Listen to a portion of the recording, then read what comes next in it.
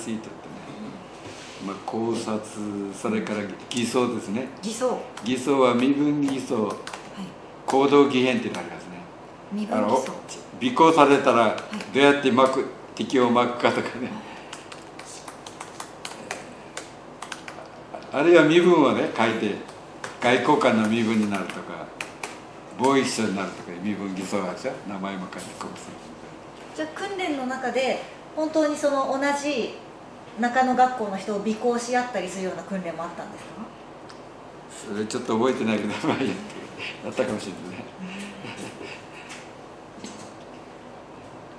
まあ我々の時は期間が短いからね学科が多いんですよね。まあ頭でね。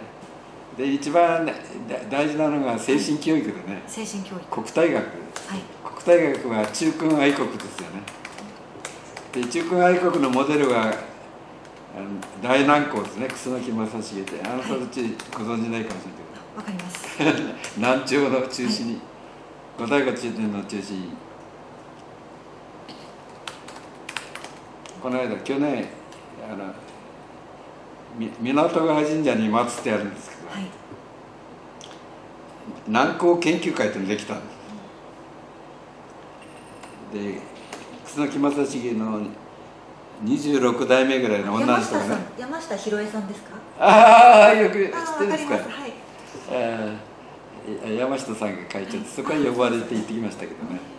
初めてか会見で、えーそれで国体学っていうのが演習がありましてね。それも演習があるんですか？こ演習っていうのはみ港川神社行ってお参りお参りするとかね。はい。それから奈良に行って私奈良の蔵王堂っていうく蔵蔵に王様のはい。蔵王堂で後醍醐天皇の王子に森永親王っていうのがはい。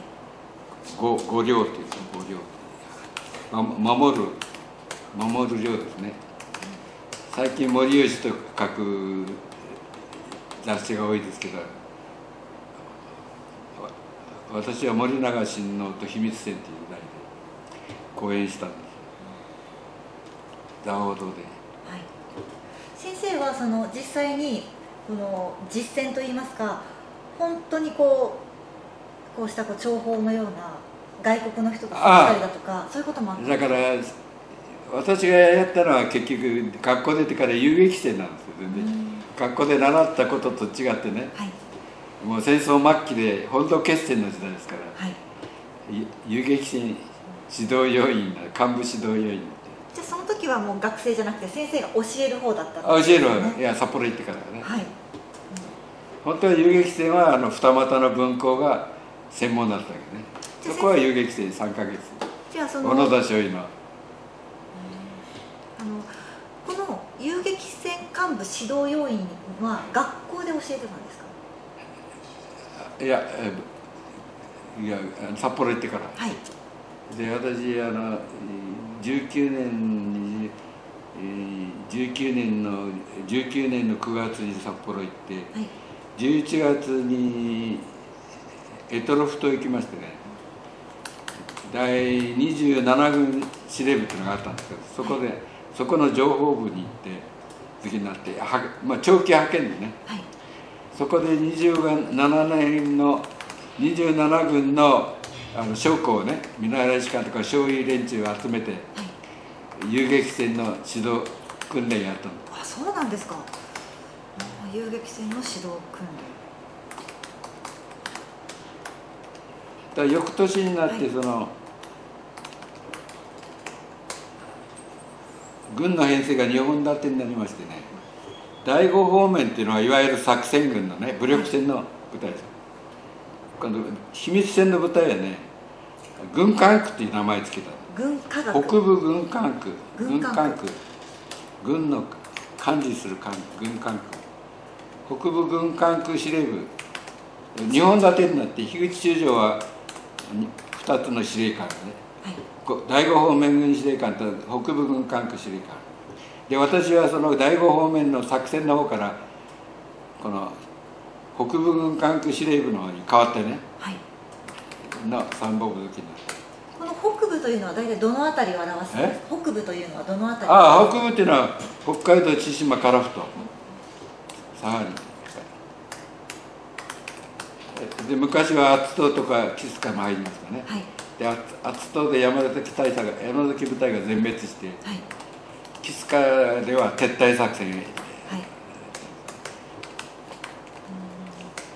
はい最初ね、あの南知事はねアメリカが来ると思ってたんですよみんな、えー前提だったのかねはい。で実際は米軍が来なかったね。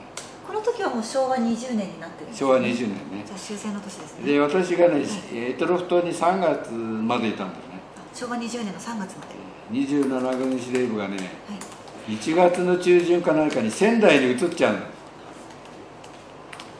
要するにもう日本陸軍はね極端に言うと本本州と四国九州だけ守るっていう。もう北海道も見捨てられてなくでであただエトロフ島にお小川兵団っていうね、だはい。一部一部残してね。はい。で私も軍司令部が仙台に行った後残って3月まで。で3月にあの北海道に引き上げてね旭川の師団旭川の留守第7師団かな。北海道に戻ったんですね。司令部の参謀部作りでそこで遊撃戦の指導をやったんですよね。あまたそこでも遊撃戦の指導をしてたんですね。ゆ遊撃戦っていうのはねえー遊撃戦ってのはどどういうのかというとね、はい。あの部下がねあの要するに元の旧昔の言う第五軍人とか何かその現現役の兵隊でない人はい。いますよね、はい。それと少年義勇隊っていうのがあって子供。はい。国民義勇隊っていうのがあったんです。だから士官軍管区の下に士官区っていうのがあって師団の師。にだから2本立てになってるんですよね。師団師団司令部と士官区司令部と。はい。士官区の方はその民間の関係義勇軍の関係ね。はい。でふ普通の師団っていうのは作戦軍ですね。武力武力戦の方。で士官区は民間の人ね。あの義義勇国民義勇隊とか何か。はい。それそれを指揮して敵を敵が攻めてきたら、えーまあ例えば札幌に空の間岳っていう山があるんですけども、はい。そこら辺にその食料と武器をね蓄えといて。で夜な夜中に出てね 敵敵陣地に行って敵のから食料も盗んだりねあるいは火つけて弾薬焼いたりね 夜中にだから金日成が昔遊撃戦や抗日遊撃戦やったように。だから拠点っていうのはあちこちに設けてるわけ。ですで攻撃しては逃げる場所を作っていかなきゃから食料と武器を蓄える場所が必要ね。はい。で私旭川の師団に入れる師団司令部の参謀部にいる時ははい。あのえ NHK に頼んでね NHK の12時からあの音楽をやるわけです。昼のね音楽鳴らすわけです。その音楽にねあのて敵が来たらこういう音楽ってあらかじめあ決めといてね敵が釧路に上陸したらえーこのこのいう音楽を鳴らすんだっていうね。で音楽を鳴らしてそれを聞いたら合図でね音楽合図で 遊撃戦のじ出動するっていうか。はい。まあ簡単に言えば例えば。その NHK に頼んだ音楽っていうのはテレビで流れるラジオですか？あラジオラジオ。ラジオ？昔はテレビないない時代だから。ラジオの時代だから。そうでしたねラジオで。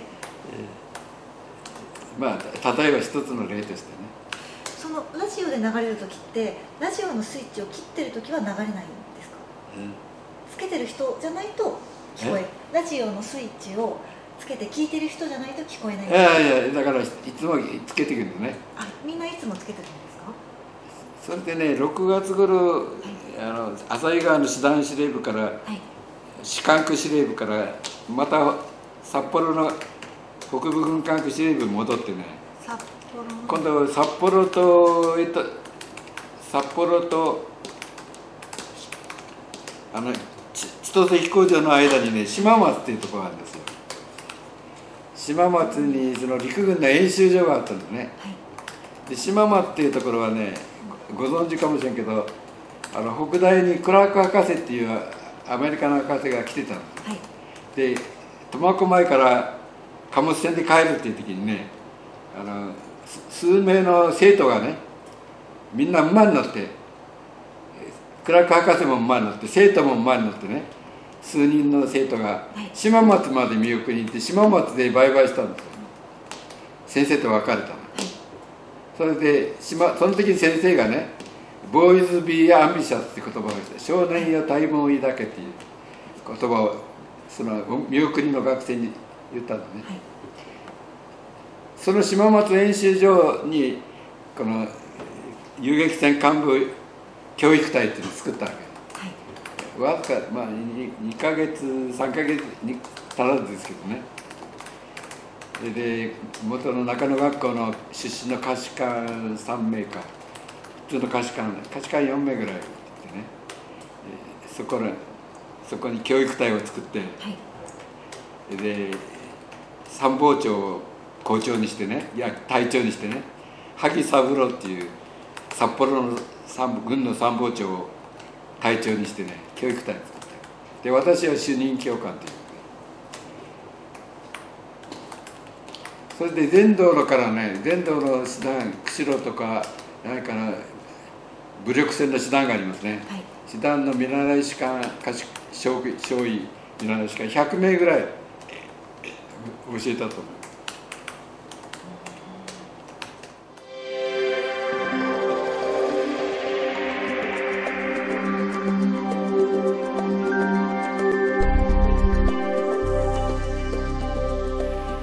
チャンネルアジアをご覧の皆さん、こんにちは。チャンネルアジア運営事務局の栗山です。チャンネルアジアは政治経済を専門としたインターネットの動画チャンネルです。藤井元気先生とか、川瀬恵子先生、西橋隆明先生、渡辺哲也先生、西村光雄先生、他、たくさんの言論人、また大学の教授陣、評論家の皆様、エコノミストの皆様、たくさん出演していただいています。YouTube、ニコニコ動画、そして専用サイトのアジャキャスト3サイトに映像をアップしています。専用サイトアジャキャストは前半はタダでご覧いただけますが、後半はプレミアム会員月1050円で視聴することができます。過去に上がった映像も含めて全てご覧いただけるようになっています。ぜひ皆様チャンネル登録をして会員登録をしてご覧ください。よろしくお願いいたします。